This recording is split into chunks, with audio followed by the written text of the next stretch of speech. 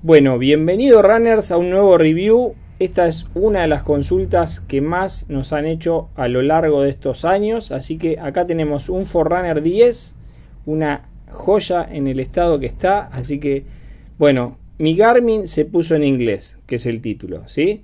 Vamos a empezar, voy a ir hacia abajo.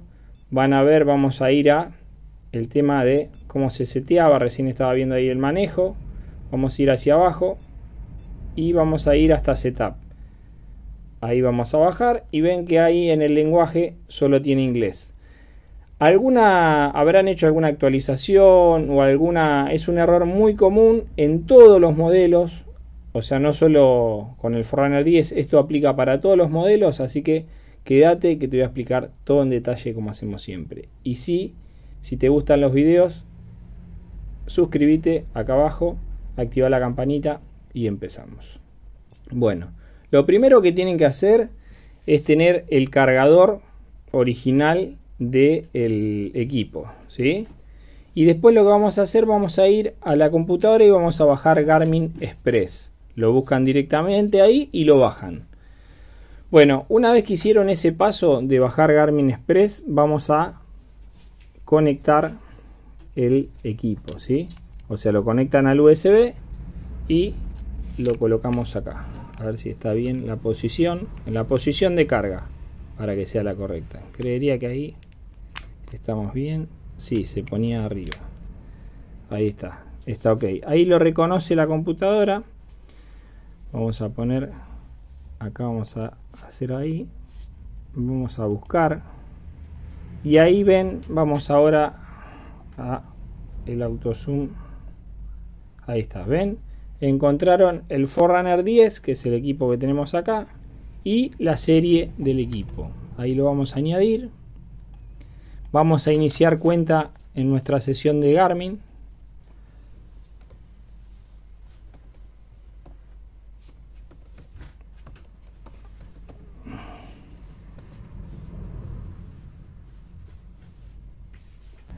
Bueno, ahí directamente nos logueamos con nuestra cuenta,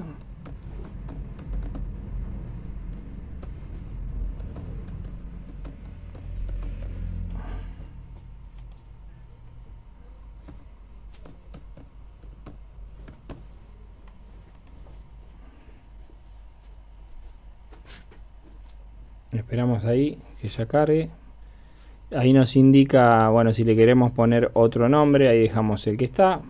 Si lo ven ahí en detalle dice Forerunner 10 así que seguimos. Vamos a poner que no. Siguiente y ahí va a ser toda la configuración del dispositivo. Yo ahora lo dejo corriendo ahí a ver si lo hace rápido si no bueno para que sea más rápido el video cortamos ahí y después les muestro cómo queda ahí teóricamente está, está, hay una actualización de software, así que lo vamos a hacer también. Tal vez le indique algunos otros, le agrega algunos otros factores, alguna actualización nueva del Forerunner 10. Ahí dice actualización del soft, ¿sí? Bueno, Seguimos, no nos permite, dice, porque la actualización es eh, muy pesada para el equipo este, así que ahí lo seguimos.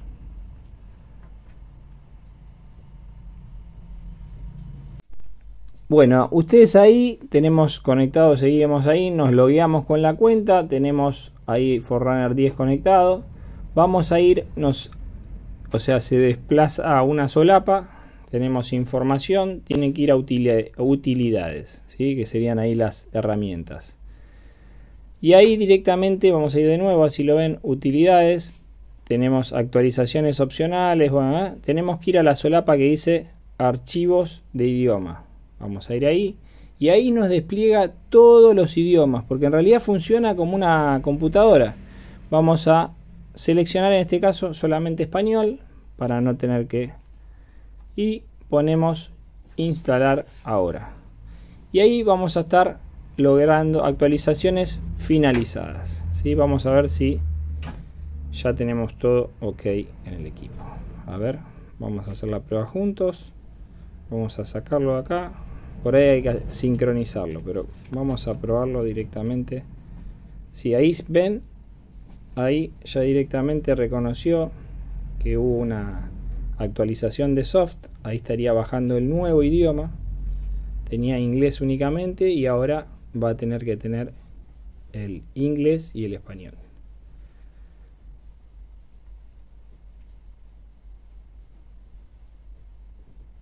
Lo hacemos en tiempo real. A veces en la edición de video le puedo sacar un poquito, unos segundos, para que no, nos lleve tanto tiempo. Pero la idea es que ustedes lo vean siempre el paso a paso. Y si te sirven los videos, ya sabes, suscríbete acá abajo, actualizar y seguir sumándote a Zacarías para YouTube.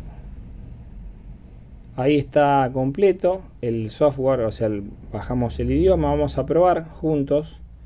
Vamos a ir a... Sigue estando en inglés porque no se cambió. Ahora tenemos que venir acá. Vamos a venir al setup. Vamos a ir al lenguaje. Y ahí tenemos, ven, inglés y español. Seleccionamos ahí y el equipo ya quedó en español.